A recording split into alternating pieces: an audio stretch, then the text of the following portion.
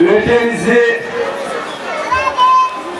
doğrusuyla, batılısıyla herkesi kucaklayan bir zihniyetiz.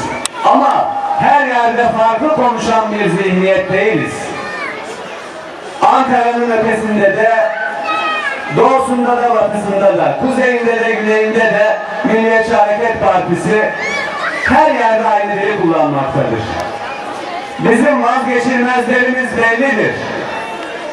İşte ülkemizin girdiği yolun sonunu göremediğimiz bir noktada artık Milliyetçi Hareket Partisi'nin çatısı altında buluşma zamanıdır diyorum ben değerli arkadaşlar.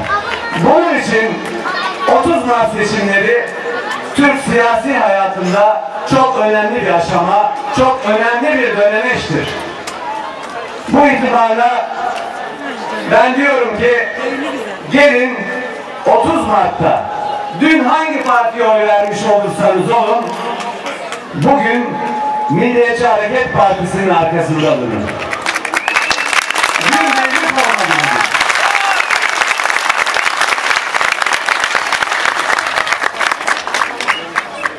Değerli arkadaşlar artık 25 gün kadar bir zaman kaldı. İnanın bu 25 gün sonunda çok şeyin değiştiğini göreceksiniz. Belediyecilik insana dokanmak, insanı sevmektir. Biz genel başkanımızın dediği gibi önce ülkem ve milletim sonra partim ve ben diyen bir zihniyeti temsilen buradayız.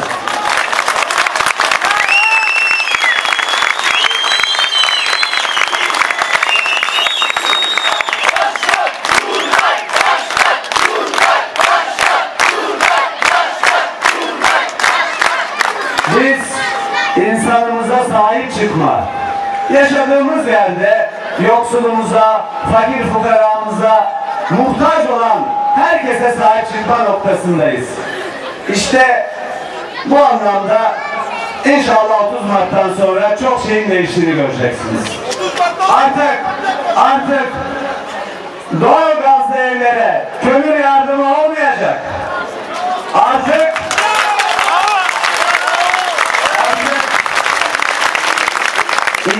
sahibi olan ama bu ihtiyaç sahibi olup da bunu dışarıya göstermeyecek kadar ağırlı olan benim Turgutlu'da yaşayan her insanıma ulaşmak benim boynumun borcudur.